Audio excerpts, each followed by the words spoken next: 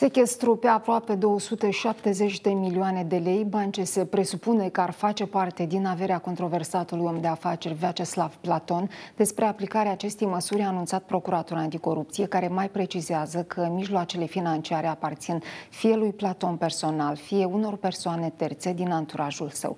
De aproape un an, acesta este fugar la Londra. Colegii mei l-au găsit la telefon. El neagă că ar avea vreo legătură cu banii respectiv, precizând că și anterior procurorii au cerut sechestru pe această sumă.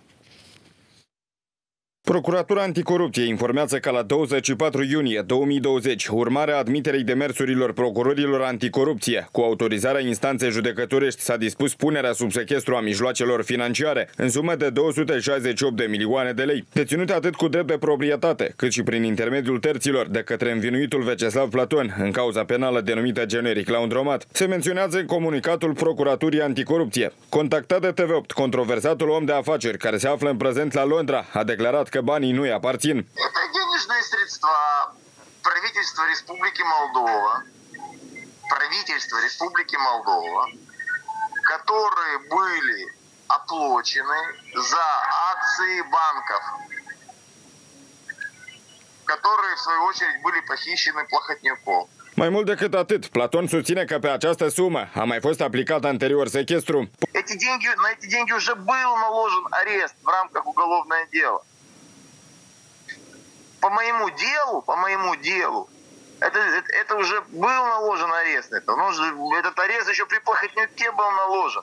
в 2018 году. Potrivit procurorilor anticorupție, în perioada 2010-2014, Veceslav Platon ar fi constituit și condus o organizație criminală formată din mai multe grupuri. Acesta ar fi acționat pe teritoriul Republicii Moldova, Ucrainei, Federației Ruse, dar și altor state. Organizația criminală a pus în aplicare o schemă transnațională de spălare a banilor, realizată prin intermediul unei instituții financiare din Republica Moldova, controlată de Platon. Nu doar Banca din Republica Moldova a fost implicată, dar și unele instituții financiare financiare din Rusia-Letonia. Se presupune că acestea erau controlate și gestionate direct și indirect de către membrii grupului criminal organizat, inclusiv cetățenii Federației Ruse. Ulterior, mijloacele financiare au fost convertite și transferate pe conturile unor companii nerezidente deschise atât în cadrul instituțiilor financiare din Republica Moldova, cât și în Letonia, gestionate de către conducătorul organizației criminale Veceslav Platon. Potrivit procurorilor, în prezent urmărirea penală pe acest caz este în plină desfășurare, fiind întreprinsă mai multe acțiuni de urmărire penală.